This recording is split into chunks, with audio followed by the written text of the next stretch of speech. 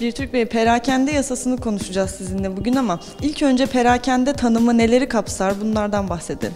Ee, Perakende Kanunu 29 Ocak e, 2015 tarihinde resmi gazetede yayınlanan Perakende Kanunu ile tanımlanmaktadır ve bu tanım içerisine AVM'ler e, özellikle e, dikkate alınmaktadır ve AVM'ler içindeki e, dükkanlar, e, ortak alanlar, e, bunun en başında tabii AVM'lerin kuruluş aşamasına ilişkin düzenlemeler bu kanunda düzenlenmektedir.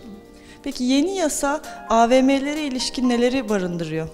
Yeni yasada AVM'lerin inşaat öncesinde alınan izinlerinden e, tutun e, daha sonra operasyonel e, anlamda nasıl işleyeceklerine yönelik birçok alanda düzenlemeler getiriyor.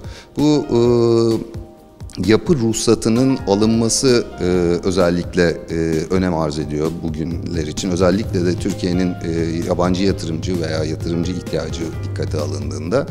E, son trendler de e, dikkate alındığında karma projeler dediğimiz e, rezidansların, e, AVM'lerin, bazen otellerin de dahil olduğu projeler söz konusu oluyor.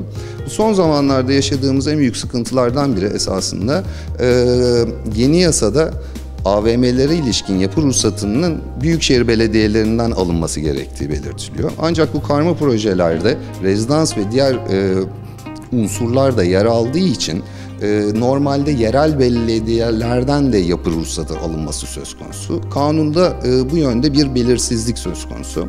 E, büyükşehir belediyeleriyle görüştüğümüzde e, kendilerinin tabii gelir elde etmek e, elde etmek için yapmak istedikleri tabii ki izinlerinin e, büyükşehir belediyelerinden alınması. Ama bunun yanında yerel belediyeler de aynı zamanda bu e, gelirleri elde etmek için kendilerinin de yetkili olduğunu belirtiyorlar. Bu hukuki anlamda bir belirsizlik yaratılıyor. Nasıl bir gelirden bahsediyoruz? Bir 50 bin e, metrekarelik e, bir rezidans projesinde yaklaşık yarım milyon TL'lik bir harç söz konusu. Projelerin sayısı dikkate alındığında bu belediyeler için önemli bir kaynak ve her iki belediye grubu da bunu kaybetmek istemiyor e, yasayla ilgili e, bir yönetmelik çıkarılması söz konusu. Öngörülen süre Ekim ayının sonu. E, ve bazı belediyelerde bu yönetmeliği bekliyorlar işlemleri yapmak için.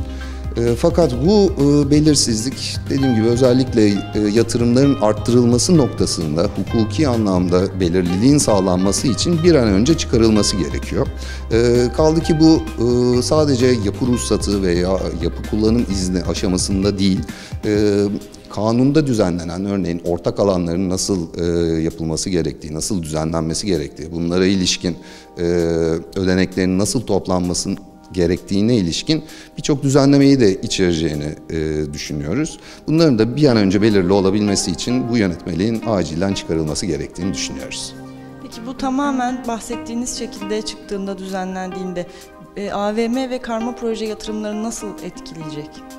E, şu anda zaten belirsizlik olduğu için büyük bir ölçüde bir durağanlık söz konusu. Bu ekonomik gerekçelerle de birleşince zaten piyasada belli bir e, ağırlık ve yavaşlama getiriyor. Bunlar belirli olduktan sonra yabancı yatırımcılar nezdinde özellikle e, konuya çok daha rahat e, yaklaşabilecekleri ve yatırımlarını e, yaparken çok daha rahat e, hareket edebileceklerini düşünüyoruz anlamda.